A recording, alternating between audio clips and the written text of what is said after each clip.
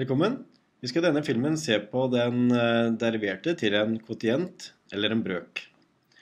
Vi husker kanskje at uh, vi hadde en uh, regel for dette. At hvis vi hadde en funksjon der hvor vi hadde en u av x delt på en v av x, så hadde vi en, en regel som sa at den deriverte av f var da uderivert av x ganget med v av x minus u av x ganget med v-derivert av x delt på v av x i annen på den måten her. Litt sånn eh, stor og komplisert regel, men vi skal se at det går, skal gå ganske greit å, å bruke den.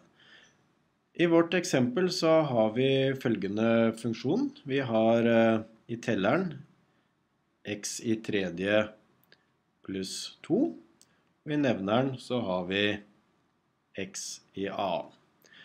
Og da, som vi gjorde med produktregelen, så syns jeg det kan være nyttig å identifisere u av x. Det er da i telleren her. Den er da x i tredje pluss 2.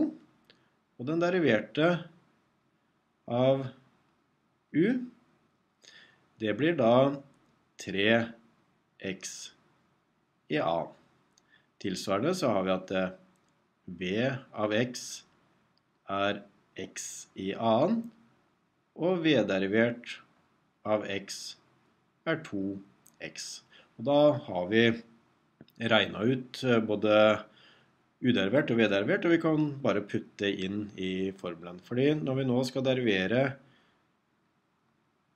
f, så bruker vi bare regelen og setter inn uderivert av x er 3x i annen ganget med v av x, det er x i annen.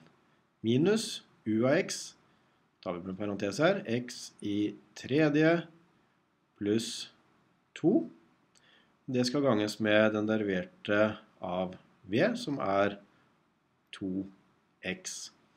Og så skal vi ha v av x i annen, så da får vi x i annen i annen på denne måten her. Så kan vi rydde litt opp. 3x i annen ganget med x i annen, det er 3x i fjerde. Så ganger vi ut parentesen her i det andre leddet. Da får vi x i tredje ganget med 2x, det er 2x i fjerde.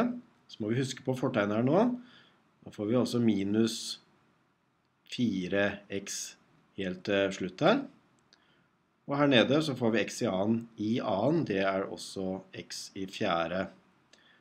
Og da kan vi begynne å nøste opp. Her var vi to ledd med x i fjerde. 3x i fjerde minus 2x i fjerde. Da sitter vi igjen med 1x i fjerde minus 4x delt på x i fjerde.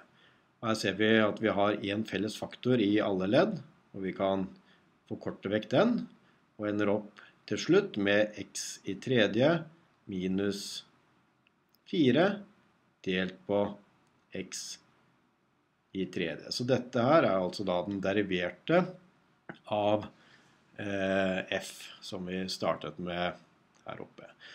Selv om reglene ser litt sånn uh, uh, uoversiktlig ut, så, så, er det egentlig å bare holde tunga rett i, rett i munnen. Jeg anbefaler denne lille side...